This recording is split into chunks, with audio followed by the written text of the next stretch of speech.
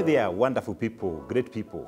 It's once again George Wachiuri here, uh, just to speak to you, to talk to you. We discuss issues, even as we look forward to amazing, excellent, peaceful transition from the current government regime to the next government regime. And we are talking about uh, keeping peace as we approach the 8th of August. It is our responsibility to keep peace. And how do we keep peace as a people of Kenya? One of the things that we must do is to respect one another. Remember, every single person have got their own beliefs, they have got their own perspectives, and we need to respect the perspectives of other people. Whether you are supporting either of the candidates, respect your neighbor, respect your family member, respect the communities, and once we keep this respect, I can assure you that uh, we shall have a very peaceful elections.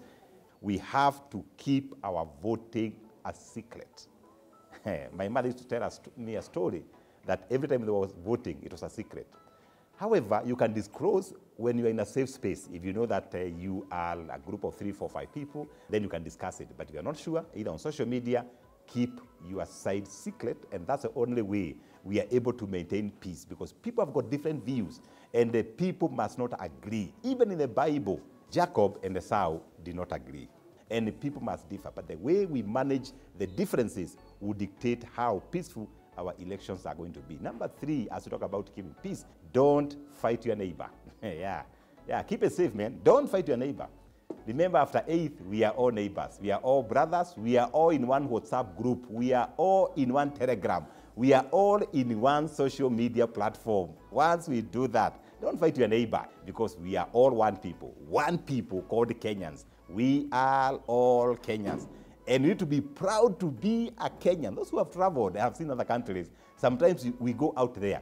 And when you're out there, you miss your country. The time you come back, you feel like kissing the ground because Kenya is a beautiful, beautiful, wonderful country. Lastly, as we talk about keeping peace as a people, is that uh, don't share propaganda videos.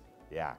Don't share. You know, resist. When you see a video that is basically propaganda, breathe 10 times. Ask yourself, is it adding value to that WhatsApp group? Is it adding value to social media?